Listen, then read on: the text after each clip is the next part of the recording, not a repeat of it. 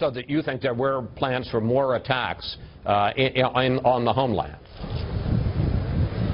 That's my assessment based upon the fact that there are a significant number of explosives found at the scene of the arrest. So how confident can you be that they don't have more explosives still out there, sir? We cannot be positive, but we're confident that, that these were the two actors, these were the two individuals that were carrying out uh, this mission, and uh, they are either dead or arrested at this point in time.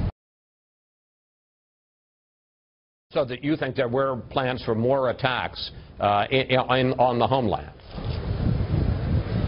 That's my assessment based upon the fact that there are a significant number of explosives found at the scene of the arrest. So how confident can you be that they don't have more explosives still out there, sir? We cannot be positive, but we're confident that, that these were the two actors, these were the two individuals that were carrying out uh, this mission, and uh, they are either dead or arrested at this point in time. We cannot be positive, but we're confident that, these were the two actors, these were the two individuals that were carrying out uh, this mission, and uh, they are either dead or arrested at this point in time.